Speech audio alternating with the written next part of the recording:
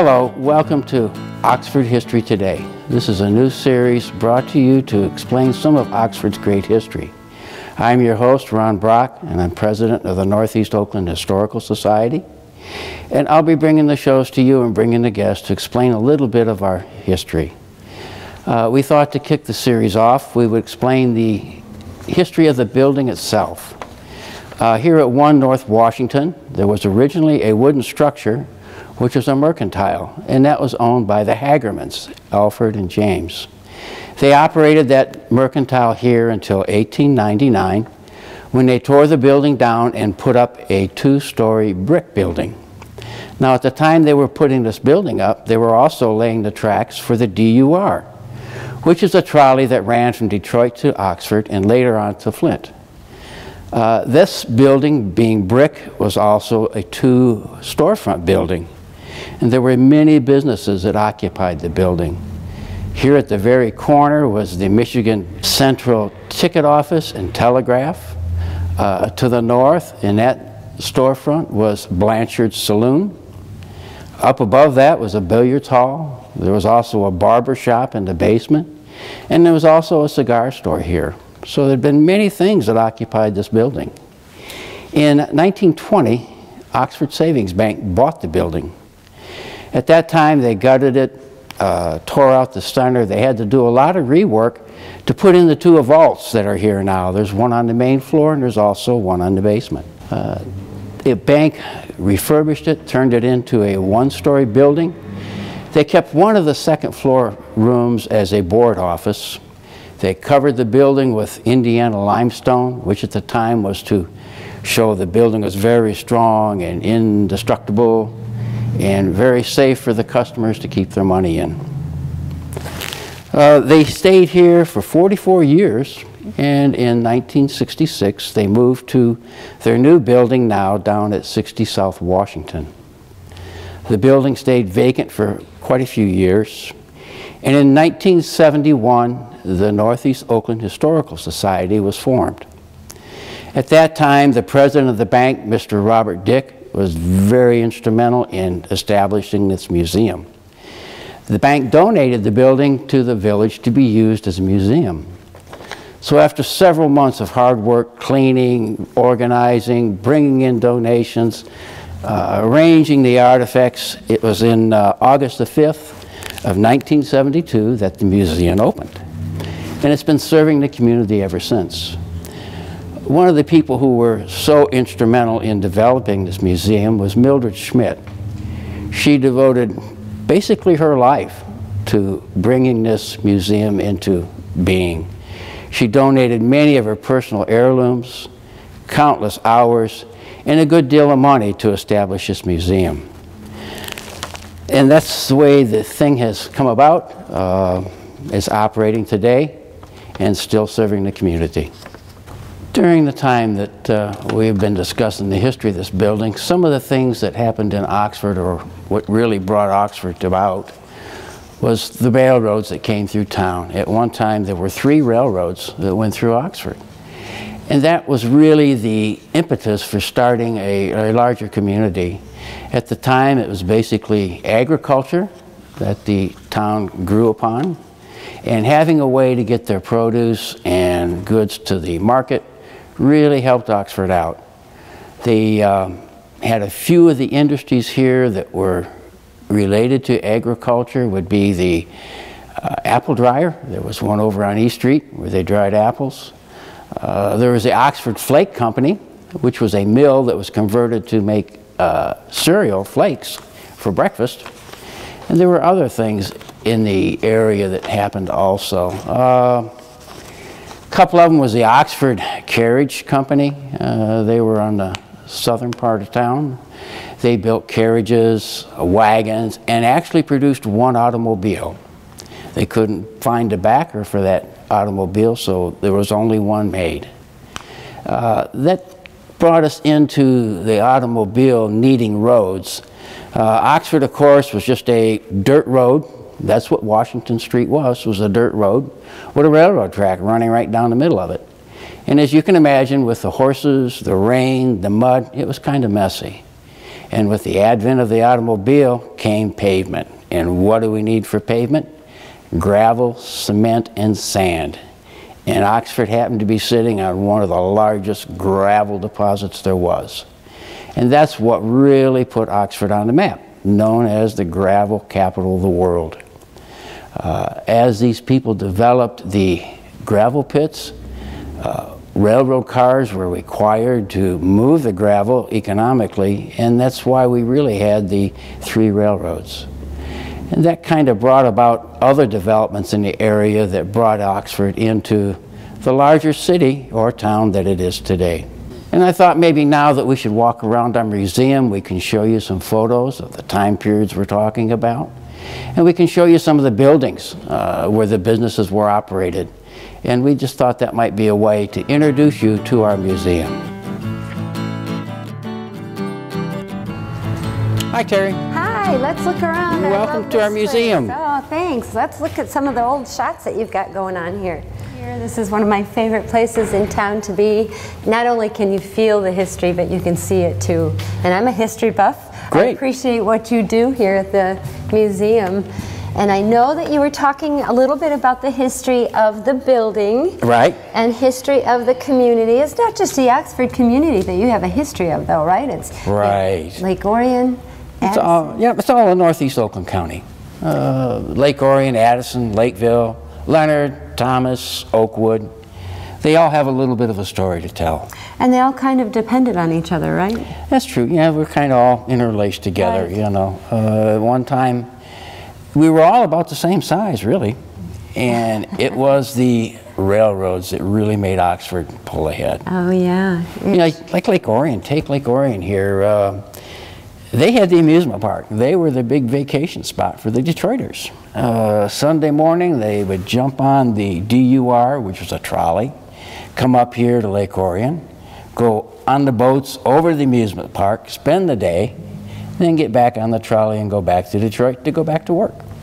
So they had a very big history there. And they had they had a lot of wealth actually in that community around that time. Yes, they did. I know a little bit about the history of the Scripps Museum and the mm -hmm. Scripps people, and, and that was all around that same time. And, and the, the island was just such a draw. And I also understand there was a church group that brought a bunch of people out here too, and then they ended up making it their home. Yeah. And of course, they're going to need something from Oxford. now, this was a great agricultural community, That's true. right? Yeah. Yeah. It was for years and years. I even remember it being sure. an agricultural community. And Addison, the same. Yeah. And did each community have their own mill, or how did that? How did their yeah, pretty go? much they had their own mill. They had their own grain elevators, you know, and that's went on that way. Uh, Lakeville, uh, they still have uh, their mill building there. Leonard still has their uh, grain elevator there, and they're trying to develop a museum out there, and we wish them all the best. Yes, uh-huh. Thomas, uh, yeah, is still there, this little town of Thomas. Uh, Oakwood is nothing more today than a party store at the corner. But at one time, it was a pretty good sized village. Now, at the same time, mm -hmm. didn't Oakwood and Thomas kind of get wiped out by the quote unquote cyclone? Yeah, that was 1896. Uh, a big tornado, which then they called the cyclone, came through. And it came from the west, uh, hit Ortonville, came across, completely obliterated Oakwood, went on to Thomas, destroyed some there, and continued on. Oakwood really had to bear the brunt of this thing.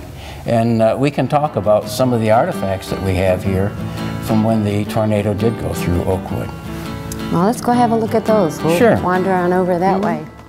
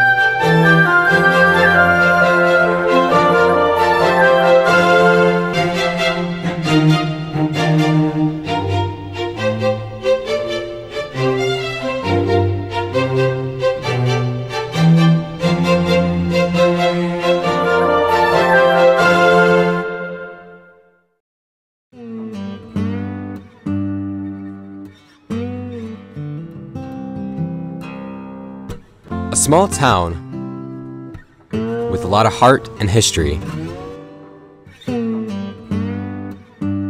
A hidden gem with a sense of community.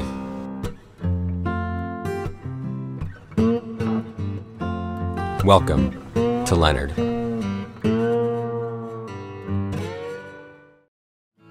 If we take a look up here in our church scene, you'll see a pulpit up here, very pretty one.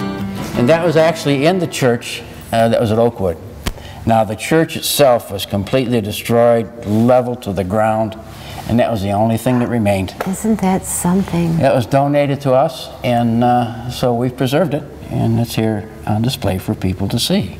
Now, how did the history? It was its own little community, Mm-hmm. but now nowadays we consider Thomas Oxford. Yeah. They still yeah. have their own. They don't have their own post office No. or anything, right? They did. Oakwood, they used to have their own post office. As a matter of fact, I can show you the postmaster's cancellation stamp. Oh, let's go look. Let's have a look at that. Yeah, Terry, in this display case, uh, you can see the postmaster's cancellation stamp. and if you notice, uh, the date is even still on that. Oh my goodness, the date, the yep. day of the cyclone. Yep, May 25th, 1896. Wow. A farmer found that in his field about two or three miles away quite a few years later. He was plowing his field up, found something shiny, and lo and behold, there it is. Isn't that something? Talk about documentation of what Oh, yeah, happened. yeah. Wow. And this uh, the, this is also from the cyclone? Yeah, this is still from the cyclone. Uh, In the back here, we have a piece of tree bark, and that was a tree that was damaged during that cyclone. And somebody in saved Oakwood, that. and somebody Oh, saved isn't it. that something? And here we have a lot marker, uh, and that was found in Thomas. Ah. And that was also uh, part of the pathway of that uh, tornado. It went through Thomas also. Explain to me a little bit about what the lot markers are all about.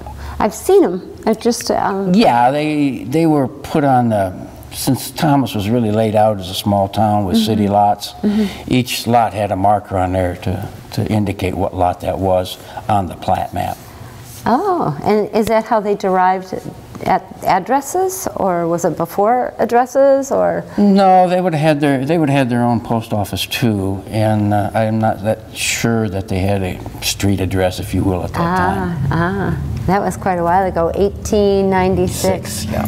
And what else is? What else do we have in this case? This is so interesting. Yeah, we have quite a few different things here. Uh, here we have some picture hanging nails. For heaven's sakes! I didn't know there was such a thing. Yeah, they're kind of unique. Uh, think about back then, you had plaster walls, and so you couldn't really just hang a picture wherever you wanted to because you're going to crack and break up the plaster. Oh yeah, that old horse hide, horse hair. and- Horsehair plaster, yeah, Yeah. yeah. So they put up a picture rail, is what they called it. Oh. And it went all the way around the room, and you would use that rail to hang your pictures from. Sometimes they had hooks that were very decorative, and then you would have chain or some kind of ribbon or yarn to hang your picture with, or you used a picture hanging nail. And they're so they look like that Victorian era, quite Exactly. That's elaborate exactly and when gaudy. from. Wow! And so everything that's in here in these cases have been donated or on loan, right, from people. in the Everything in the museum has been donated, or we have a few items on loan. But yeah, it's, it's all donations from the communities. Uh, we have not purchased one article to be displayed here. And I know that you went the the museum, and I know that you and the board put a lot of time and energy into this to reorganizing, if you will, the museum back in the spring, right? Yeah, we did this two years ago. Uh, the museum closes every February for maintenance, cleaning, just catching up on things that need to be done. And the board decided that the museum needed a new look. and so, through several meetings, That we sat down a floor plan, uh, decided that, okay, maybe the best way to display our artifacts would be to develop some vignettes of here, of different rooms, Victorian times, see the way rooms actually looked at that time. And that's what we set out to do. Uh, we set up a church scene up above the stairway. Got a dining room here, a parlor, we have a children's room, we've got a music room. In the lower level, we've got a kitchen, we've got a farming area, we've got a carpentry area. And we just wanted to break it up so that we were displaying things of a like nature rather than have things sense. scattered everywhere. Right. And to sense. give people more access to what's in these cabinets Right. and to get a closer look. Uh, And it gives you a sense of what the feel was like. This definitely feels like Victorian era with the, the piano, the very ornate piano. right. yeah. It's definitely um, gives you a sense of where we came from, Exactly. which yeah. is the point of the museum in the first place. And, uh, and let me say, for the people in this community, thank you for dedicating your time and energy Thank to you. do that. I have never seen, I've seen the basement from the stairs only. So can we take a look around We can sure there take a step down Talk about the cool yeah. stuff that's down there? Yeah, we, we did the same thing this past spring downstairs, reorganized the basement. And so, yeah, I'd be glad to show it to you. Okay, let's go look.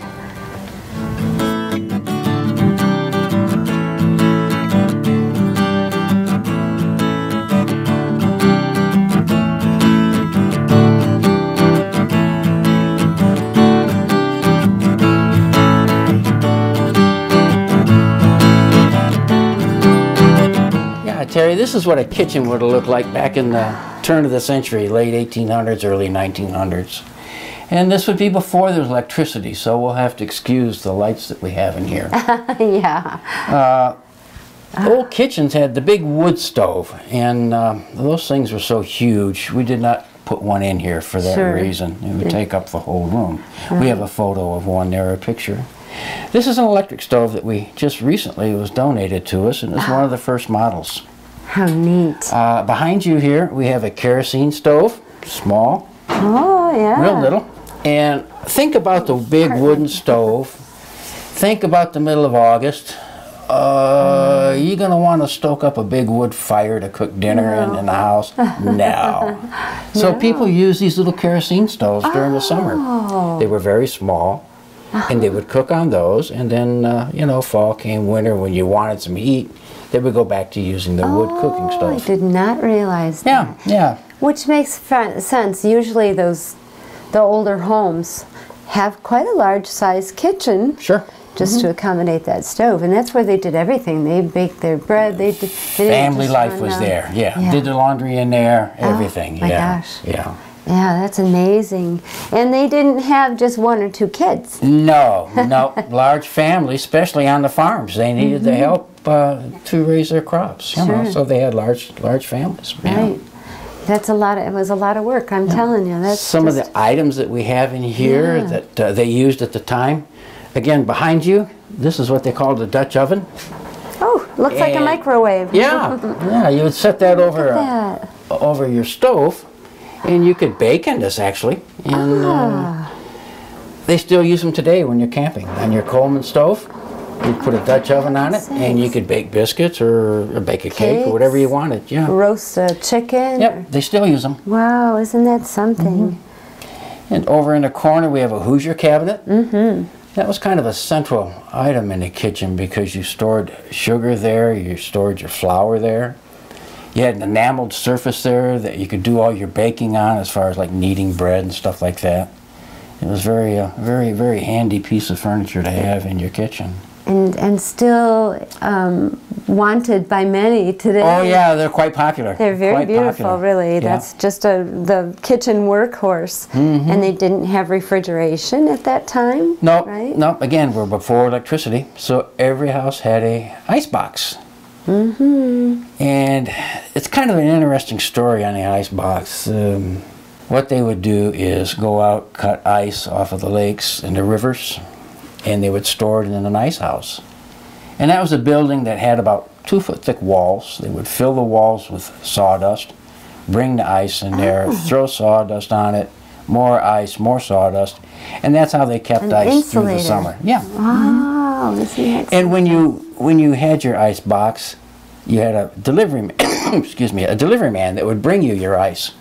You would put a sign, something like this, in your back window, and that would tell the ice man how much ice you wanted him to leave you, depending In- in upon what you had going on. Yep, 75 pound block or Oh, 100 pound pound block, and so that would tell him how much ice you wanted. Wow, isn't that And something? uh, he would bring the horse-drawn carriage over to your house, you know, and with ice tongs, bring in the block of ice, and you would leave him a coupon. sitting on top of your ice box. Oh, because you buy them ahead of time. You buy them ahead of time, Oh, for and that sakes. is broke up into 25 pound increments. Ah. And so that way he could come whenever and uh, just deliver your ice, because of course back then nobody locked their doors, right, of course. and uh, just leave your ice and away you went. Wow. And the, is it around the same time that there were milk deliverers? About that time, well? the milk deliveries, yeah. Yep. If you didn't happen to have a, a If you farm didn't have a full cow of out and back, right? Yeah, yeah. So they keep that. Uh, they probably had deliveries more than once a week. Oh yeah. Because yeah, it you would go to. bad, of course, Sure. I'm sure. It must have been difficult to keep things fresh. yeah, it would Mm. be. And uh, the kids really loved to see the Iceman come around because he would take an ice pick and chop Chop off a little off. chunk of ice, and the Uh-huh. kids would eat that, and they thought that was cool. I'm dating myself because I can remember the milk delivery guy doing that for us. I can remember that. okay, well, and then we, there must be a workroom here where yeah, we have several different workrooms here, and we'll go on to them. we'll Before we by that. leave, Yeah. I want to show you this is an ice cutting saw.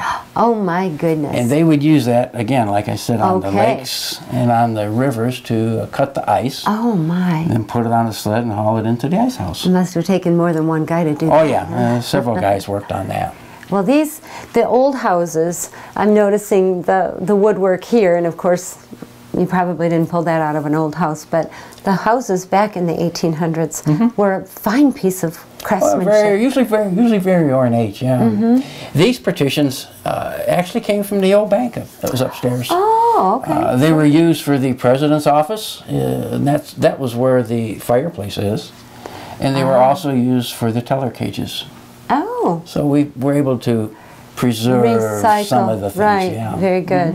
Well, and it also reminds me, I had a house in Oxford built in 1875. Okay. And there, there was definitely ornate woodwork in that house. Sure. It's um, they don't build them like they used to. That's for sure. No. I want. Speaking of building them, I want to go on and see their tools. Okay, we'll do that right now. Okay. Hi, I'm Connie from Connie's Kitchen here on OCTV, which is channel 99 on AT&T and 191 on Charter. Join us here on OCTV, join me in Connie's Kitchen and learn to have fun in the kitchen, to relax and enjoy yourself. Come on, it's, we- what, what'll it hurt? You'll have a good time.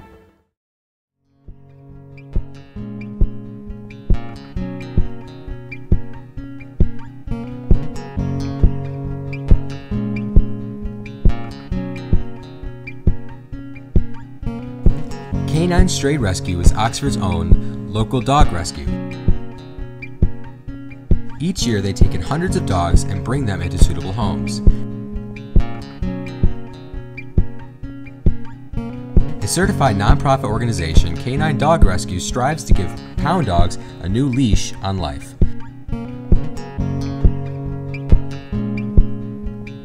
To donate, adopt, or even volunteer, call them at 248 628 0435 or go to their website, dogsaver.org, and click on the Canine Stray Rescue League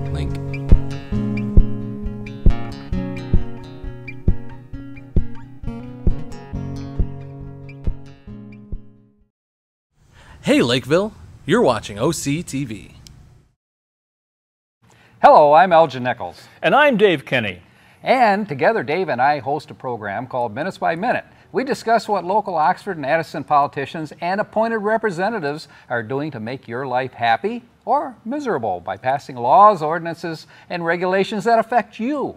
We believe that within those political decisions is humor. You just have to hunt for it. For example, did you know there's a local ordinance that allows people to shoot off fireworks 24 hours a day, 365 days a year? But since they can do it, nobody wants to do it. Catch us Monday through Friday on Charter 191 and ATT Uverse 99, scheduled for 7 a.m., 11 a.m., and 10:30 p.m. Or go to our webpage occtv.org and click on Programs. I'm Elgin Nichols. And I'm Dave Kenny. Each week, catch us on Minutes by Minute. Don't miss it. Yeah, Terry, we were talking about them doing their laundry in the kitchen area. Yeah. Speaking of tools, right? Right, and uh, here are some of our laundry Oh my things. goodness! Look at that.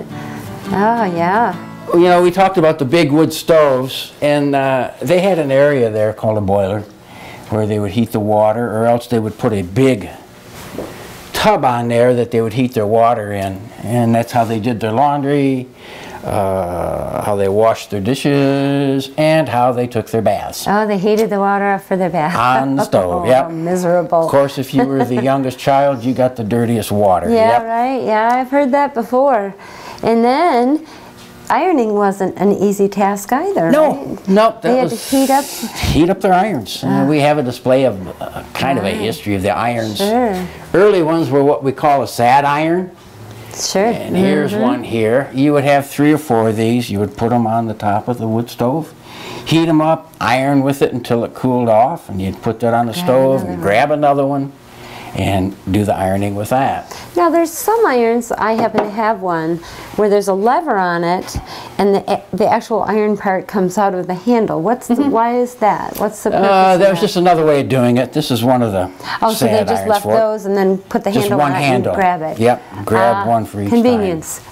Modern convenience for them, right? And then they came to the charcoal iron, which is this one. oh my goodness. You would put hot coals in there, that would heat up your iron, so Ah. you could iron with that.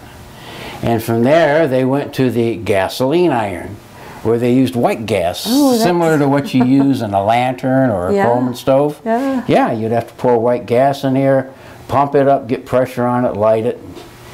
That's why a lot of the houses burnt down, you know? Sure, and you know that was a dangerous job just keeping house. I'm Sure, sure. So on our next segment, I, I, there's so much to look at down here. I we passed a whole bunch of hardware tools, so we're going to have to pick up where we left off on our next segment. I want to find out how they got these houses built in the first Sounds place, great. and more about Oxford's history.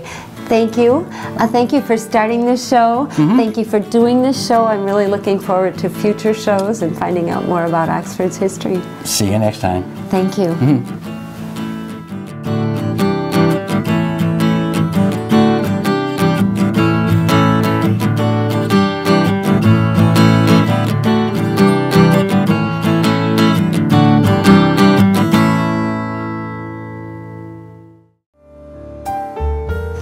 is OCTV, Oxford Community Television, serving Oxford and Addison Townships with the best in local programming. On Charter Channel 191, AT&T UVerse Channel 99, and our website occtv.org. OCTV, we provide local programming that brings you closer to home. Your local business. Your police department. Your local business. Your village of Oxford. The schools.